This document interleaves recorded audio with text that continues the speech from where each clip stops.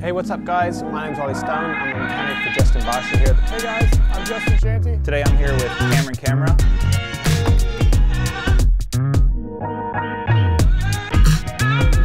Of Genslack.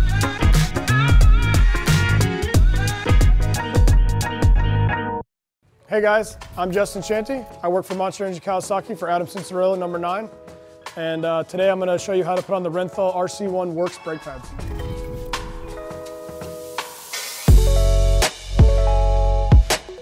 Right, uh, we're down here at the rear brake caliper. We're gonna put on the Renthal RC1 Works uh, rear brake pads today. Um, we're gonna start by taking off the caliper guard that comes on the bike.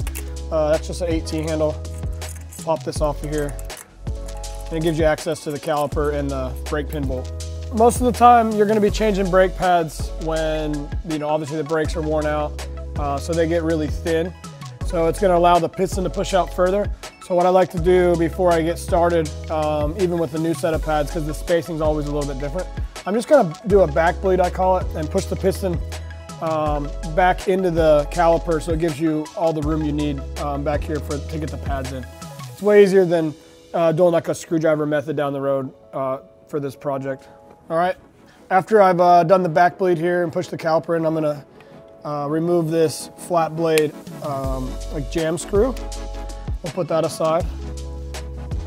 Next up, number five uh, T-handle or a five Allen, uh, and that's for the, the pin itself.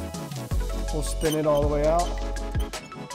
And at this point, you just kind of hold onto the pads. There is this retention plate here, but it's gonna wanna shove the pads down so you don't get them kind of wedged in the spokes there. So I'll just take them out.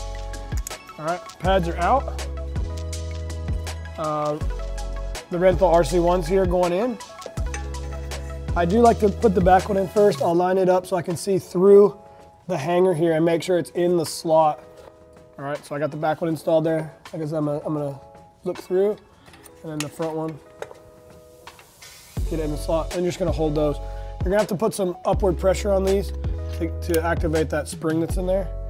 And then uh, we'll just go reverse order here with the pin. Pin's going in, tighten that up. And then the safety side of it here is this slug uh, type plug here that goes in. It keeps uh, the pin from backing itself out. So they're kind of jammed together inside here. So snug on those. We'll reinstall the caliper guard here. There is an upper, up and a down to this uh, guard. I don't think it will fit on the other way, so just be mindful of how you're taking stuff apart. Go slow, you know, write stuff down, take pictures if you need to.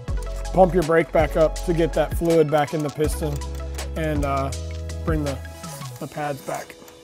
All right, and there you have it. Uh, that's a proper install of the Renthal RC1 Works rear brake pads.